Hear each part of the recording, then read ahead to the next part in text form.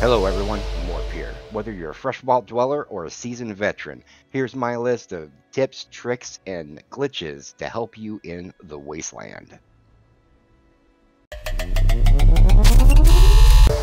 Alright, let's go over how to use your power armor to run around the radiation zone without taking any rads at all.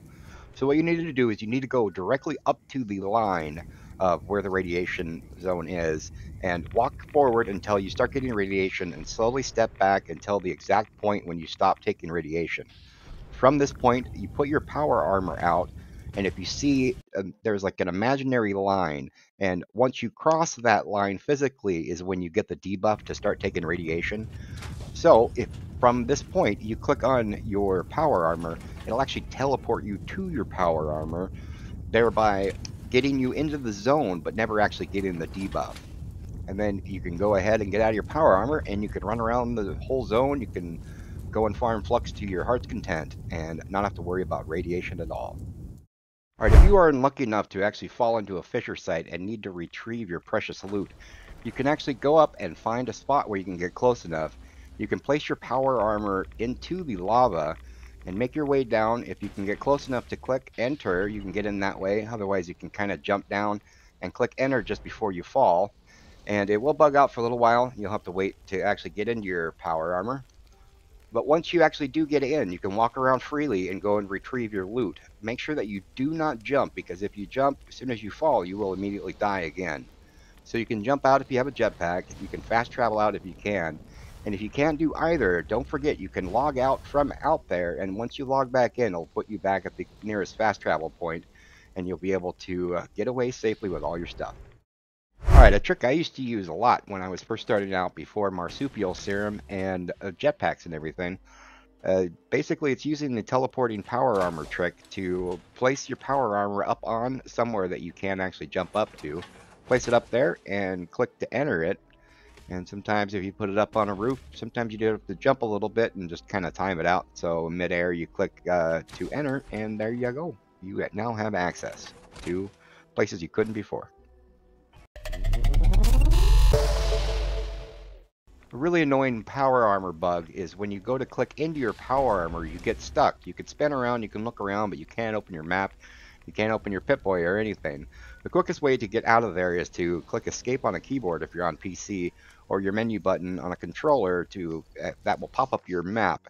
And from here, you can go down and join daily ops, which will get you out of the situation immediately. But if you are in a situation where you do want to stay there, such as being in an event or something, and if you're taking rads, you can actually do the same method and open up your map and find uh, any quest marker on your map and click it and scroll down and click on show in Pip-Boy and from in there, you can go down to your aid tab, you can take some rad away, and if you do have Chinese stealth armor, you can actually go and put that on and wait the minute or so it takes for the power armor to get back into your inventory. Another common bug or glitch in the game is the inability to actually open trade with other players. There is a debuff or a tag that happens when you are in an event because you're not allowed to do trades with other players in events. So somehow the game is registering you as in an event. And to fix this, it's pretty simple. You can just go to any event, just open the event and click reject to leave the event. And then when you're done, you can return to the player and you should be unbugged and able to do your trade. Now we have the photo mode glitch to get through any door that is inaccessible or is just locked and you don't want to pick the lock.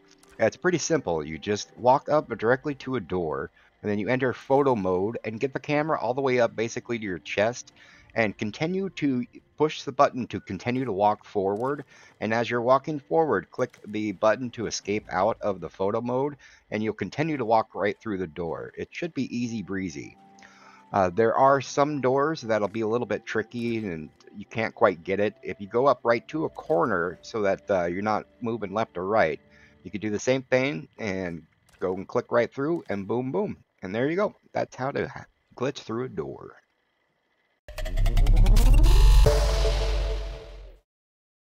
Alright, now this tip is for people that are wondering about how NPC vendors work.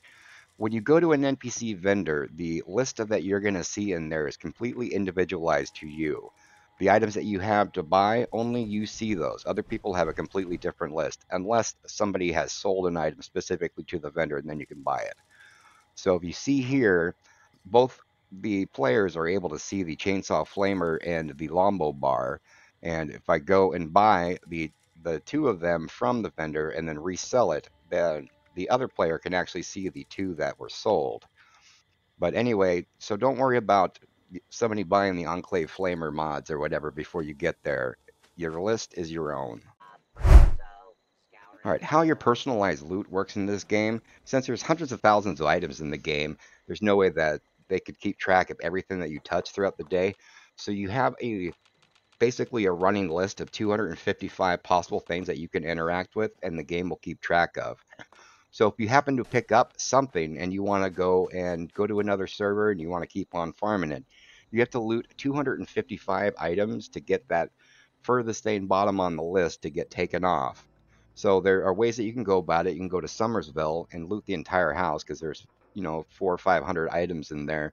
And this is a great method if you want to farm rare items such as the dresses in in uh, Fort Defiance, or if you want to go and farm, you know, or or anything that uh, the game is going to be generating in for you. And also on a side note, there is another side of the equation that is the server generated side. Let's say that there are particular items that are not just 100% loot, such as, you know, beer bottles and stuff like that. Stuff that's actually kind of rare, such as the Red Asylum dress or, you know, other rare things that you can find in the game. The server will have a list of its own that only can place one of those per day. So there will be certain items that if anyone on the server went and picked up that thing, there is no way that you can go and reset your loot or anything to make that respawn until the server resets the next day. If you come across a base and you're looking around and find something cool there that you'd like to have in your own camp, you can try to make contact with a person or if you can, join a team with the person. And while at the the camp, you can actually open up the build menu just like you would at your own camp. And from in there, you can go and select on the items and hold until it opens up a blueprint. You can select all the items that you want to have in the blueprint. Click Create Blueprint, name it, and then you can take that blueprint and go on to your own camp and place it there and rock and roll. Alright, this tip has saved me a lot of time. Having a camp that is not near a water source. I have a water well, and this also works if you have a sink or anything else. So there are two options. There is the one with the timer to drink and the one to collect. If you click on collect, it will go through the entire cycle of the couple seconds, and you'll only collect one water.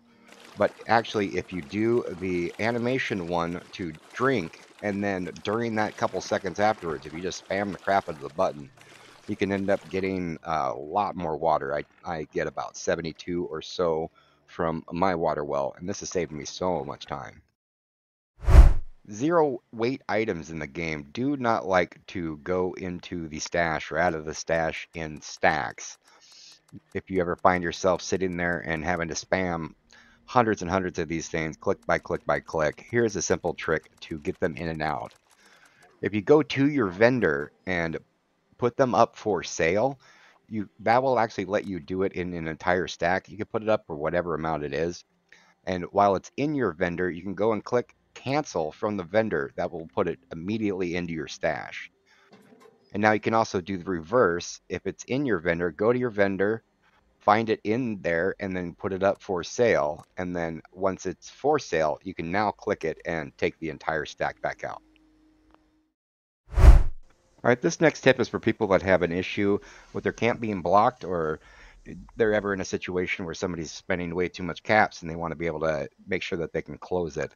So you can use your secondary slot that you get for free, or if you buy other camp slots with your atoms, but you can place your module exactly in the exact same spot on both bases and then set up a secondary base and obviously don't put a vendor on the second one and uh, you can instantly click click over from the map and uh, load up your other base. You could even put a little note kind of showing that you're at max caps, or you could put a little note to your Discord, or just basically your name, just so that people that wanted to buy something off your vendor can come back and visit you another time. One very useful thing for me when I was starting out the game was doing the event powering up at the three power plants, Poseidon Energy Power Plant, Monongah Power Plant, and Thunder Mountain Power Plant. And completing these, gives you access to use the power of the plant to power up the fusion generators there, plus the resource collectors. Uh, but if, uh, if, you do the optional thing to get the uh, the whole plant fully repaired, um, you'll actually get access to the Poseidon power boxes that you can use at various workshops around the map. Here is a list of the power plants connected to each of the power plants. If you see here, once everything's all connected, you get 100 power that you can use at all of these bases, which is really nice for when you're starting out. Um, I did have a few bugs, like at Wade Airport, I couldn't seem to get it to work. And uh, the Poseidon power substations, you can make a base right there, but I couldn't seem to figure out how to actually get the power to work out of there. Alright, thank you all so much for watching. I hope this was very helpful to everyone. There's a list of bunch of useful things down in the description. There's also a link to our Discord if you'd like to come and hang out with us. And please make sure to click like and subscribe and click on the notification bell. You can also come and follow me over on Twitch at Mr. Morp76.